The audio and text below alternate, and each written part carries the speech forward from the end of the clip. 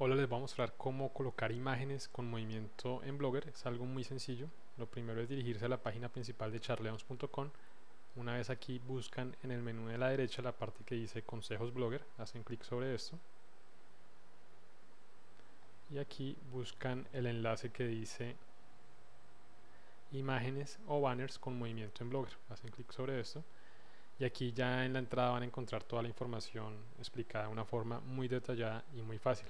Esto lo vamos a hacer a través de un gadget HTML eh, con un código marquee. Es algo muy sencillo. Aquí en el ejemplo yo ya les dejo eh, para que agreguen dos imágenes. Entonces solo deben agregar la URL de la primera imagen, la URL que redirecciona y la URL eh, de la imagen en sí.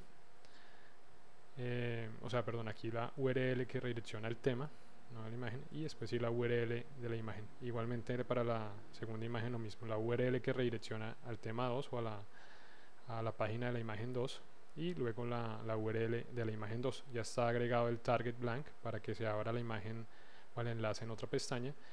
Eh, y también ya están las etiquetas de alt y title para que coloquen la leyenda que ustedes deseen bueno, esto en realidad es muy sencillo. Eh, para las personas que han visto los otros videotutoriales se les va a ser súper fácil, ya que aquí lo que nos importa es eh, la parte del código que genera el movimiento, que es el scroll o el behavior.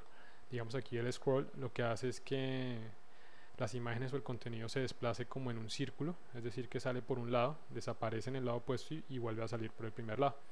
Y ya el behavior, que casi no se usa, hay dos, el behavior alternate que hace que el rebote, que, perdón, que rebote el contenido de un lado a otro, o sea que las imágenes reboten de un lado a otro, y el behavior slide, que hace que el contenido comience en un lado y al llegar al otro extremo se detenga. Aquí en el código de ejemplo está la parte de scroll, pero si ustedes desean usar el, el behavior, entonces aquí ya les dejo un ejemplo de cómo se, se colocaría. Bueno, otras partes del código son eh, direction, está digamos aquí left, izquierda. Aquí en esta parte, como les digo, está todo muy bien explicado. Entonces, si dejan left, eh, hará que las imágenes inicien de derecha a izquierda. Si se deja right, iniciarían de izquierda a derecha. Si se deja up, iniciarían de abajo hacia arriba. Y si se deja down, eh, iniciarían de arriba hacia abajo.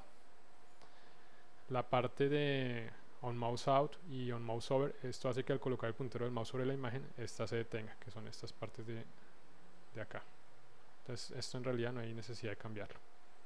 Entonces las que cambiarían serían la dirección eh, loop esto es aquí está infinite. Esto es para que el movimiento de las imágenes sea indefinido infinito. Otra cosa que podrían agregar bueno o, cambiar editar sería el scroll delay y el scroll amount pues aquí está la explicación más abajo. El scroll delay define la velocidad con la que se desplazan las imágenes y el scroll amount define la cantidad de píxeles que avanzan las imágenes. Entonces aquí están los valores. Uno en scroll delay 1 sería rápido 200 sería lento y en scroll amount 2 eh, sería un movimiento normal y 100 ya sería muy rápido. Bueno, eh, esto en sí es como una marquesina, como una caja para las imágenes, ya sea vertical u horizontal entonces también le pueden agregar una alineación pero eh, por experiencia les recomiendo que no le agreguen ni el width ni el height al, al marquee sino que usen ya el que trae eh, las imágenes así como está aquí en los códigos. Entonces todas las imágenes tendrían que llevar las mismas medidas y la caja o la marquesina tomará automáticamente la medida de, las imágenes. También se le puede agregar un color de fondo aquí en, en la parte del marquee que es la etiqueta o el código BG Color que está acá. Entonces digamos aquí si agregara este esto sería para blanco y quedaría con un, con un fondo blanco. Si agregara esta parte dentro del marquee con el color que ustedes deseen en HTML y quedaría con, con ese fondo. Digamos podría ser un negro eh, un blanco pero en este caso si no se agrega va a quedar automáticamente un fondo transparente. Bueno, cualquier duda pueden visitar la entrada y mirar todo el tema, leer que está todo explicado paso a paso y y muy bien para que se entienda fácilmente. Bueno entonces vamos a realizar el ejemplo. Copio el código. Copiar. Me dirijo a mi página de blogger en la parte de diseño. Añadir un gadget HTML y en este gadget pego el código. Digamos voy a copiar el último el último código de la, de la última imagen para agregar otra imagen. Entonces lo copio me ubico al final y pegar.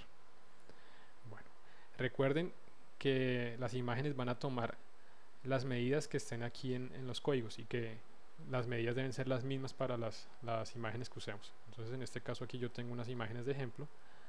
Entonces copio la primera URL y solo tengo que reemplazar.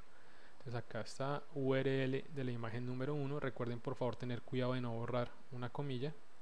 Pegar y URL que redirecciona al tema número 1 digamos voy a dejarle la URL de la página del tema.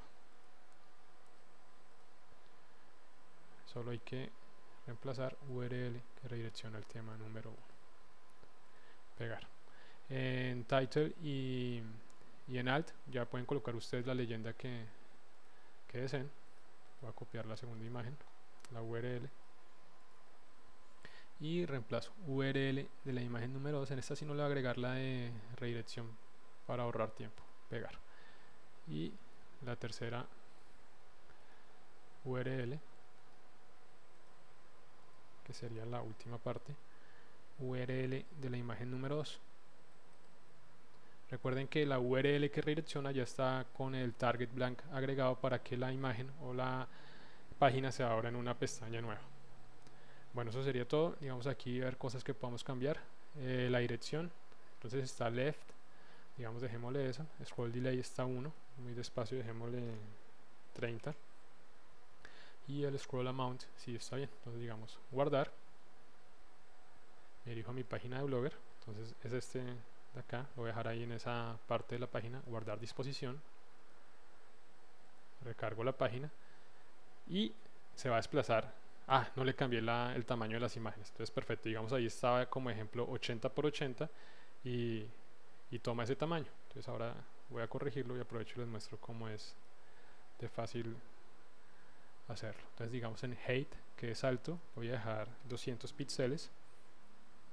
Y en width que es ancho le voy a dejar 150 píxeles en las tres imágenes. Recuerden que debe ser en las tres imágenes y aquí de ancho 150 y en la tercera width ancho 150 y height que es alto 200 digamos guardar. Guardar disposición. Recargo la página y ya voy a ver las imágenes con su con un tamaño más acorde. Recuerden que aquí se van a desplazar es en el espacio de la columna porque están ubicadas en la columna derecha entonces ahora las voy a ubicar para que ocupen todo el ancho de la página y sencillamente tengo que desplazar el gadget aquí en la parte de arriba de entradas del blog o si lo quisiera al final eh, podría ser aquí arriba de attribution. Listo digamos aquí voy a hacer otra cosita. Les voy a dar un espacio entre imágenes entre cada imagen. Entonces me ubico al final de de una y presiono la barra espaciadora al final de la segunda imagen del código de la segunda imagen acá presiono la barra espaciadora clic sobre guardar guardar disposición recargo la página y ahora van a aparecer bueno aquí me está tomando quedaron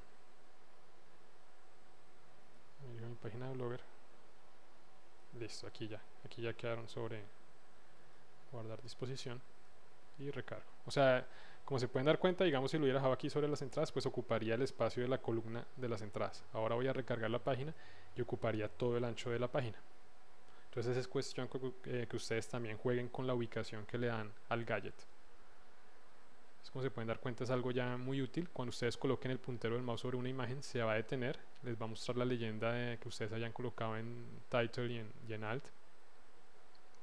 Digamos en la primera imagen que le agregué una URL eh, de redirección. Si hago clic sobre ella se abre en otra pestaña ya que tiene de una vez incluido el target blank.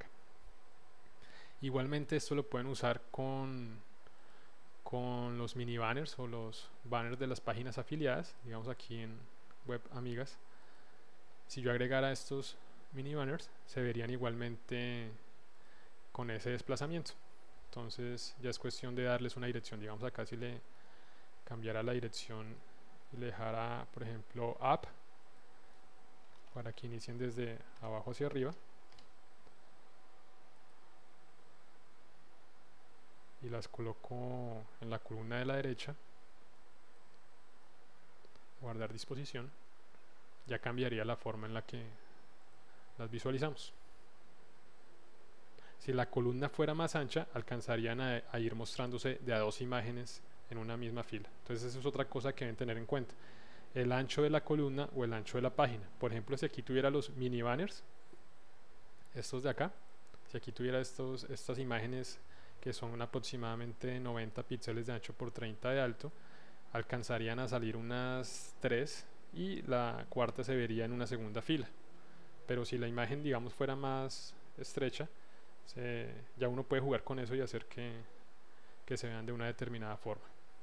Entonces, como se pueden dar cuenta, es algo muy sencillo el agregar imágenes con, con movimiento. Igualmente, ubicarlos. Lo voy a dejar, digamos, en este caso al final de la página recargo y entonces es otra forma de promocionar los, los temas de sus páginas muy fácilmente sin necesidad de, de agregar una, una plantilla que, que, tenga esta característica. Es algo muy sencillo es, es, solo agregar el código eh, marquee esta etiqueta el marquee. Esto es lo que genera el movimiento con el scroll o el behavior. Es cuestión de que ustedes ingresen a la entrada y lean detalladamente en dado caso de que quieran editar alguna parte más. Bueno, como se pueden dar cuenta es muy fácil y, es otra forma de innovar en la presentación de sus temas para que sea más agradable eh, cuando visiten las personas sus páginas. Bueno, eso sería todo. Recuerden que pueden visitar la página principal de charleons.com. Desde aquí pueden acceder al canal de YouTube, donde se pueden suscribir y ser los primeros en ver los videotutoriales. Igualmente pueden visitar la página de charleons.com en Facebook, pueden dar me gusta y ver todo el contenido que publico.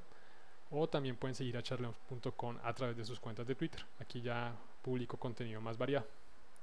Cualquier duda, comentario o sugerencia me pueden dejar un mensaje y con mucho gusto les responderé. Gracias, chao.